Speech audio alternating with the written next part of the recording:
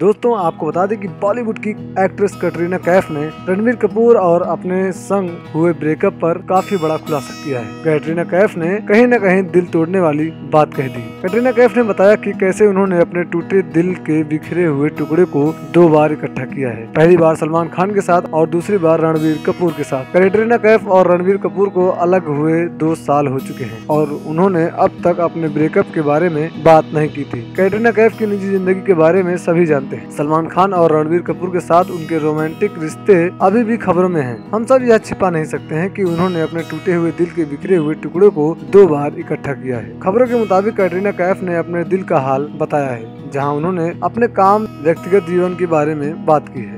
उन्होंने कहा है कि मैं कहूँगी कि मेरा जीवन 80 परसेंट काम और 20 व्यक्तिगत पर केंद्रित है, लेकिन हमारे नियंत्रण के बारे में नहीं जानते हैं। अब बहुत काम हो रहा है। मैं इसे एक अच्छी चीज़ के रूप में लेता हूँ। जब मेरा निजी जीवन खत्म हो गया तो यह मेरे नियंत्रण में नहीं था। कैटरीना कैफ आगे कहती है, यह जानना मुश्किल है की वास्तव में चीज़ें क्यूँ हुई, लेकिन मेरा इस पर एक अलग विचार है। ठीक है, यह ब्रेकअप बेकार है। यह भयानक है, यह दुनिया की सबसे बुरी चीज़ है। मेरा जीवन मानो खत्म हो गया था। इस पर बैठकर सिर्फ़ दो मिनट के लिए भी विश्वास करना संभव नहीं है। लेकिन अगर आप वास्तव में अपने भगवान, अपने ब्रह्मांड पर विश्वास करती हैं तो आप बहुत अच्छा महसूस करेंगी। मुझे यह कहना चाहिए, क्योंकि कुछ युवा लड़कियाँ हैं जो शायद मुझे सुन रही हैं। उन्हें कुछ ऐसा मिल सकता है कि जो उनकी मदद करे। या एक व्यक्ति को देख सकती हैं और सोच सकते हैं कि वह एक वर्ष में संघर्ष नहीं कर रही है। जैसे मैं कर रही हूँ। आप जानते हैं कि हर कोई संघर्ष करता है। सबसे महत्वपूर्ण बात सीखना है। हम सभी अपने डर और असुरक्षा के बावजूद काम करने और हासिल करने की कोशिश कर रहे हैं। आप एक दिन में नहीं उठते हैं और पता चलता है कि यह सब हो गया। आपको इसके आगे बढ़ना होगा। जग्गा जासूस की शूटिंग के दौरान कैटरीना कैफ और रणवीर कपूर का ब्रेकअप हो गया था, जिसकी वजह अभी तक अज्ञात है। फ़िलहाल रणवीर कपूर आलिया भट्ट को डेट कर रहे हैं। कैटरीना अगली बार रोहित शेट्टी की फ़िल्म सूर्यवंशी में नज़र आएँगी।